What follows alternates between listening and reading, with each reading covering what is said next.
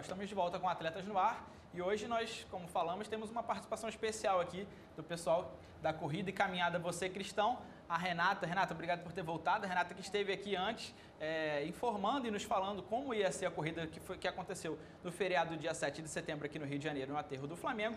E, obviamente, hoje ela está de volta aqui com alguns dos que participaram é, lá na, no dia 7 de setembro para poder dar uma para contar como é que foi, como é que aconteceu e aí já o que vem pela frente é, do pessoal do Você Cristão. Renata, obrigado pela sua volta aqui. É, conta um pouco pra gente é, do, do, dia, enfim, da expectativa que você estava antes e como é que aconteceu é, tudo lá no dia, que foi muito bacana. Nossa equipe esteve lá com o Natan, não foi isso, Natan? Foi bem legal. Bem é isso. Legal conta um pouco pra gente do que você é, mais gostou lá do dia e como foi que aconteceu a corrida no dia 7 de setembro.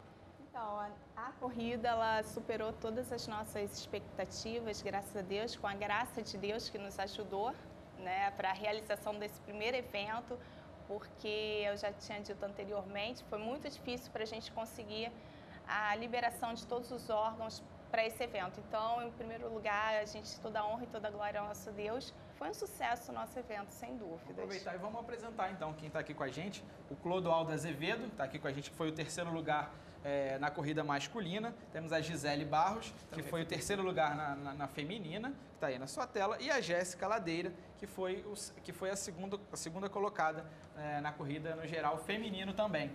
É, Gisele, o que, que você fala? Você foi o terceiro lugar no feminino.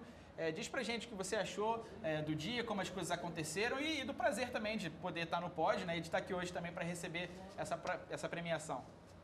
É, para mim foi bastante proveitoso estar participando de uma competição que tem, não tem um fundo assim, uma visão lucrativa, né? Tem a visão de benefício, é a saúde do bem-estar, principalmente dos cristãos, né?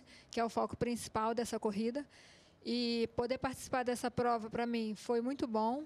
É, o apoio à organização foi excelente, estava tudo tudo correu super bem lá, né? E poder subir no pódio, uma corrida dessa, tá ali no terceiro lugar, para a gente é sempre gratificante. Muito Gisele, bom. Gisele, Gisele já falou, a Jéssica Conta um pouco para a gente agora das suas percepções daquele dia. É, e, enfim, segundo lugar, como é que você chegou qual próxima é da sensação? primeira? Eu queria, sempre quis é. saber qual é a sensação de você cruzar aquela faixa comum do seu caso. Gente, você chegou próximo ali da primeira, como é que foi ali o gostinho de, de repente, estar tá disputando o primeiro, o primeiro lugar? Fala Pô, um a chegada foi maneira demais. Foi maneira demais. Só dando gás, assim. Teve um que ganhou no finalzinho, assim, fez uma ultrapassagem bem próximo da linha da chegada. Foi você, não foi? Foi eu, né? Caraca, ele deu gás no finalzinho. Daqui a pouco a gente vai falar com o Vamos lá, Jéssica, diga aí pra gente. Pra gente um então, é, pra mim foi muito gratificante participar de um evento cristão, né? Não é sempre... A gente não está sempre participando. Então, quando tem, a gente tenta prestigiar ao máximo, eu fico muito feliz. A organização foi excelente, foi tudo perfeito. A corrida também, foi uma corrida muito disputada o tempo todo, mas a gente deu o nosso melhor e fico muito feliz de estar participando novamente aí. Legal. Fala aí. Vocês como atletas de grande rendimento, os 5 km não é a modalidade de vocês. Vocês costumam, costumam concorrer em qual tipo de competição? Sim, para mim, para mim é, porque eu participo mais de corridas curtas, né? A gente fala 5 km, 10 km. Então, assim, para mim a minha especialidade é os 5 km. Qual a diferença de uma para outra assim, de administração de treinamento? De, de treinamento? É, sim, é, o 10 km é, a gente, é mais fundo, né? É, e o 5 km é mais curto. Então tem todo o preparo, tem todo o treinamento diferenciado. E é, o 5 km é mais veloz. A né, resistência né? dos E o 10 km né? é mais resistência. Entendeu? Um então tem essa mais diferencial. no de 5 km. De 5 km. No de 10 você tem que administrar tem melhor para não faltar gás no final. Né? Exatamente, tem que administrar o tempo todo. Isso aí. Antes de falar com, com o Clodoaldo, Renato, eu queria aproveitar, você tinha comentado antes sobre é, o número de participantes iniciantes, digamos assim, né, né, na caminhada e na corrida no dia. É, fala pra gente, tinha muita gente lá que nunca tinha participado de um evento desse, de, de uma corrida, né? Como é que foi? É, era o objetivo de vocês nesse caso? Exatamente, assim, esse foi um dos objetivos que nós alcançamos e ficamos super felizes, porque houve uma pesquisa dentro da Decathlon, onde 50% dos nossos participantes nunca participaram de uma competição, nunca caminharam, nunca correram. Então, assim, para a gente foi o máximo, né? Ver o povo aí de Deus é, preocupado agora com, com a saúde. Cuidar e, do corpo, Com né? cuidar do corpo. Então, assim, conseguimos esse grande objetivo que é fazer combater a obesidade e fazer com que as pessoas pratiquem exercício físico. Vocês conseguiram ter um retorno de quantos participantes vocês tiveram lá no Nós tivemos aí em torno de uns 5 mil inscritos e eu acredito que lá no aterro, até por causa da chuva e por conta do feriado, talvez umas 3 mil, 4 mil pessoas nós Muito tivemos legal. no local. Legal. Clodoaldo, pa- passa o microfone aqui, Jéssica, pro Clodoaldo. Conta um pouco pra gente como é que foi lá o seu dia, a, a- corrida em si. O Natan tava lá e viu a sua grande ultrapassagem no final. Enfim, fala um pouco como é que foi essa chegada pra você aí. Deu aquele, aquele gásinho mais forte no final pra conseguir o terceiro lugar. É, foi como a Jéssica falou, né? A prova foi disputada do começo ao fim, né? E ali eu seguindo o camarada ali que estava à minha frente, no retorno lá eu encostei nele, aí vim ali administrando e eu já estava vindo de uma prova no dia anterior lá de Cabo Frio, que eu cheguei em quarto lugar numa prova lá também, Caramba. de 5 quilômetros. Eu falei, ah, meu irmão, não é possível que eu vou perder o pódio aqui. Eu fui naquela luta ali na garra. Aí meu treinador lá falou, ó, cara, falta pouco, falta pouco. Vamos lá, baixa a cabeça, relaxa o braço. Eu, ih, meu Deus do céu, e vamos, vamos. Consegui passar ele faltando uns 40 metros para a chegada ali. Foi muito legal. Realmente foi, foi bem disputado, bem emocionante. Bom, então, Natan, aproveitando, já que você tinha corrido no dia anterior, né? Conta pra gente como é que é essa administrar é, o seu corpo, né? Questão fisiológica. O que, que você come? Assim, Enfim, banana ajuda, né? O potássio da banana. O que, que, Carboidrato. que você faz? O que, que você faz é, de um dia pro outro, assim, correr um dia, no dia seguinte correr de novo? física, né? É, é aquele lance, né? O costume. O corpo ele tá, tem que estar bem acostumado com o dia a dia, com a rotina. A gente, como atleta de elite, a gente treina dois períodos. Então o corpo ele vai se acostumando muito. Você tem que ter uma boa alimentação. Não é só arroz e feijão. Tem que ter o carboidrato, tem que ter os sais minerais, tem que ter as vitaminas certas. Para tu poder chegar num nível desse patamar. Porque você correr abaixo de 3 minutos uma prova de 5 quilômetros, meu irmão, não é fácil não. É complicado. E com a idade que eu já tô, né? 37 anos, poxa, tô quase pendurando os tênis já.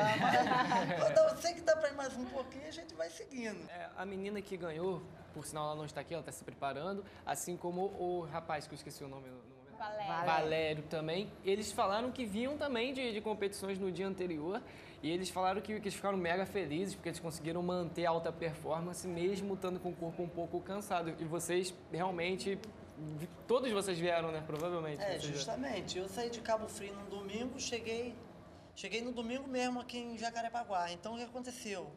Eu descansei bastante. No dia seguinte eu estava inteirão. Eu falei, opa, e pra, ó, eu vou te dizer uma coisa, cara, eu corri melhor do que em Cabo Frio. Por incrível que pareça, pelo nível da prova, que foi um nível super forte, pelo camarada que correu, que eu já, já venho de disputa antiga com ele, opa, não foi fácil não, mas graças a Deus deu tudo certo. Conseguiu o sprint final ali, né? Justamente, ali nos 40 metros final mesmo. Ali foi a disputa final ali. Era eu ou ele. É graças Agora, a Deus, Miriam, papai abençoou. É, o, o pessoal do, do Você Cristão até né, tinha, tinha a questão missionária também. A Miriam também, que, que é sempre muito envolvida com o pessoal dos Atletas de Cristo, da, da, da Junta de Missões também, com, com as viagens missionárias, né? Eles também tinham é, esse objetivo do, do- do- de voltar os fundos arrecadados é, por, por questões missionárias, né? Não, muito legal essa iniciativa, porque é uma, uma maneira de você demonstrar também para as pessoas que nós cristãos temos essa preocupação em cuidar do corpo, que é algo que Deus nos deu saúde, a vida é algo que Deus nos deu e a gente gosta muito de preservar. E é uma forma da gente proclamar para essas pessoas não só a mensagem da vida, da saúde, do bem-estar, mas também do amor de Deus, que a gente consegue fazer tudo de uma maneira decente, organizada, animada. Muito legal, parabéns, Renata. Agora eu tinha uma pergunta para fazer pro pessoal. Pode fazer. Porque geralmente as pessoas elas acham que correr é um negócio meio difícil, assim, né? O pessoal geralmente começa, né? Ah, vamos caminhar, correr parece sempre uma coisa muito difícil. Por que, que vocês começaram a correr? Bom, eu, eu comecei é, no meados de 2005 a correr. Assim, logo depois que eu tive um, um problema com, com câncer, né? Eu era dependente químico de droga. Então, era, era nesse mundo da perdição. Fumava muito cigarro, fui parar no, no, Hospital do Fundão, entre a vida e a morte lá, fiz 12 quimioterapia, 2 biópsias. O médico me, me desenganou, mas graças a Deus, Deus me deu a oportunidade de vida. Aí de lá para cá comecei a interagir no esporte, nessa oportunidade. E estou até hoje.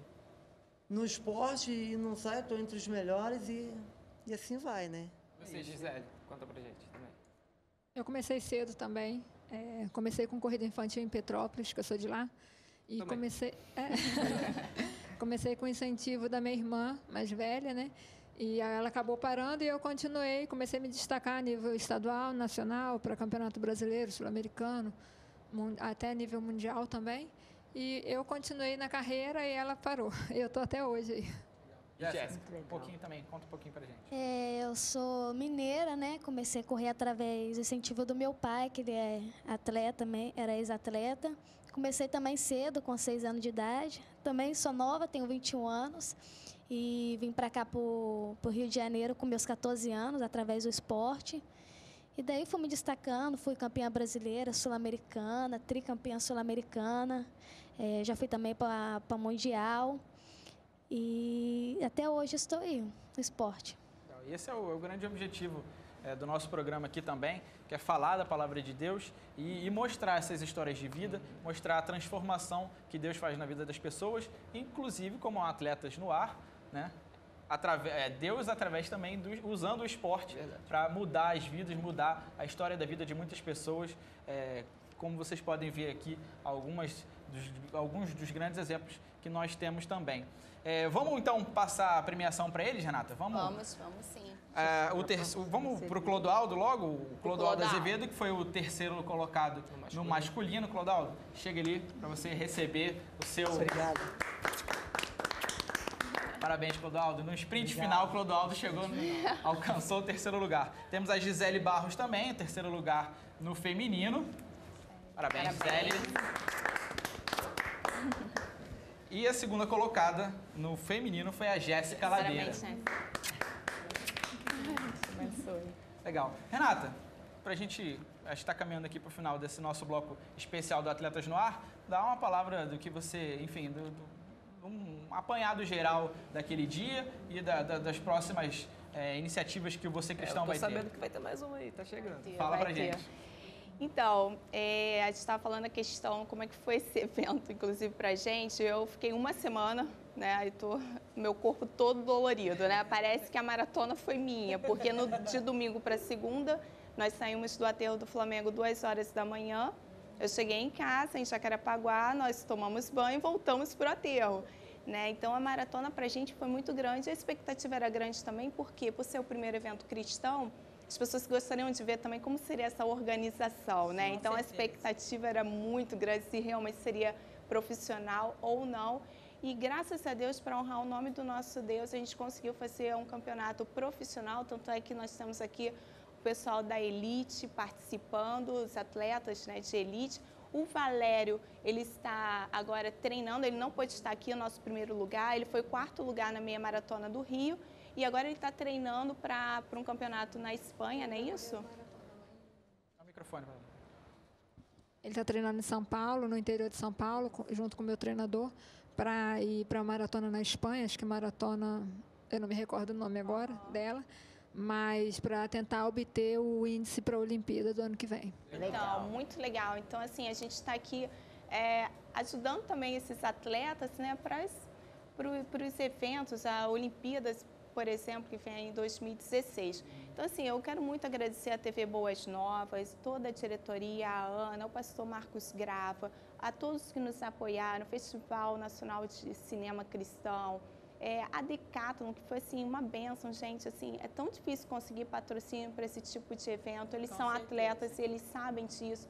A Decathlon, assim, eu não tenho como não falar deles. Eles não falem, mas eu vou falar, sabe? Assim, eu quero agradecer muito a tudo que eles nos ofereceram. As pessoas falam assim, poxa, mas por que tão longe?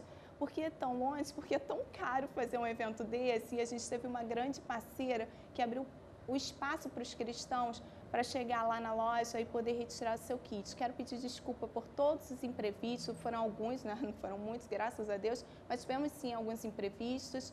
Mas eu prometo aí que a gente está trabalhando para a gente não ter esses imprevistos no próximo evento, mas de um modo geral eu acredito que a gente conseguiu o nosso objetivo. Foi o primeiro evento de vocês, né? Imprevistos, como você falou, é. acontecem, mas é, o objetivo é sempre ir melhorando e certamente é, da próxima vez vai ser com muito certeza melhor. muito melhor. É, nós estamos prevendo agora uma corrida para Barra da Tijuca. No, vai ser uma corrida noturna, né? A gente, a nossa ideia é que seja a medalha, vocês pegaram medalha de prata, vocês agora vão pegar a medalha de ouro lá, né? E a gente vem com algumas organizações que a gente ainda tá, está definindo isso, porque a gente tem uma estrutura grande e ainda não sei se a barra vai comportar essa nossa estrutura. Mas a gente, então, a vai, gente, tá, a gente vai, vai jogando, vai a gente vai falando tudo isso, vai informando isso, aqui através de atletas nossos, fica ligado aqui com a gente, que a gente vai estar sempre informando para vocês por isso. Gente, muito obrigado, Renata, Parabéns. Jéssica, Gisele do Mundo Alto, tá? Parabéns para vocês, muito obrigado. Não sai daí que a gente volta já já. já volta.